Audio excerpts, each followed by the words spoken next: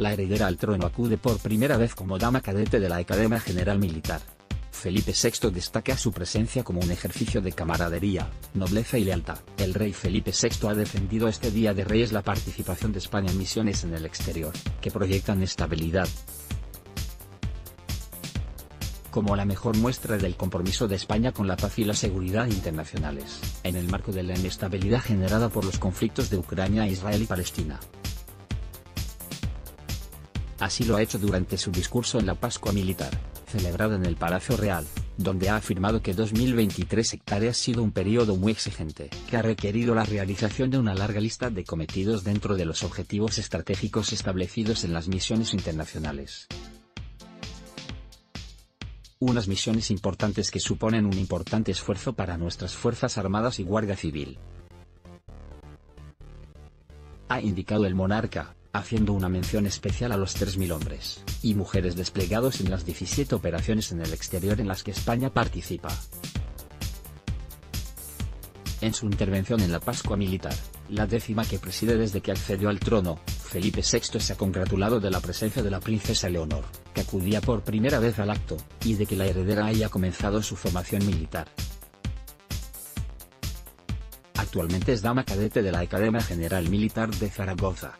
Además, ha recordado que su primogénita juró la Constitución en el Congreso el pasado 31 de octubre, coincidiendo con su mayoría de edad. Como cadete, la heredera al trono vistió uniforme de gala de color caqui del ejército de tierra, con pantalán, chaqueta, corbata y boina granate, además de la banda azul celeste como poseedora del collar de la Orden de Carlos III.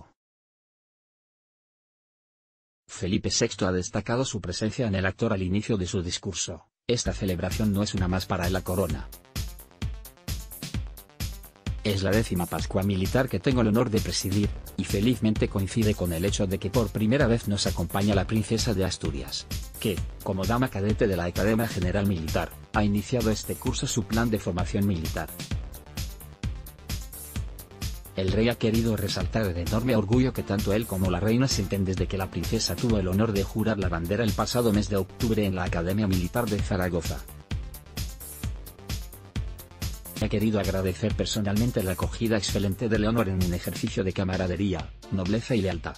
Es el mejor incentivo que puede tener en este primer año de formación militar, humanística y técnica, destacaba. La cita, además de dar comienzo al año castrense, permite hacer balance del año anterior, y marcar líneas de acción para los 12 meses siguientes. El acto ha arrancado a mediodía, con la llegada de los reyes a la Plaza de la Almudena, donde les ha recibido el presidente del gobierno, Pedro Sánchez. A continuación, les ha saludado la ministra de Defensa, Margarita Robles, así como el jefe del Estado Mayor de la Defensa, El almirante general Teodoro Esteban López Calderón.